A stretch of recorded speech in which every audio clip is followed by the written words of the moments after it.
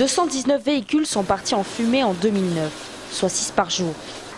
Un chiffre qui place Toulouse, on le sait, dans le palmarès des villes où l'on brûle le plus de voitures, une réalité qui dérange. Il n'y a pas de vide parade des, villes euh, concernant le nombre de voitures, euh, de voitures brûlées.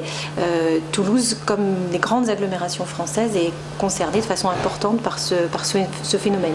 Contrairement aux idées reçues, ça ne chauffe pas que dans les quartiers dits sensibles.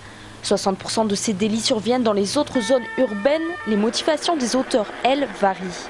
De plus en plus, et sur la, période récente, ça s'est développé, euh, des gens qui essaient d'effacer des traces, notamment à la suite de, euh, de, cambriolage, ça on le, on le, voit dans un certain nombre de, cas, et puis aussi des escroqueries à l'assurance euh, qui se sont aussi pas mal développées dans la période récente.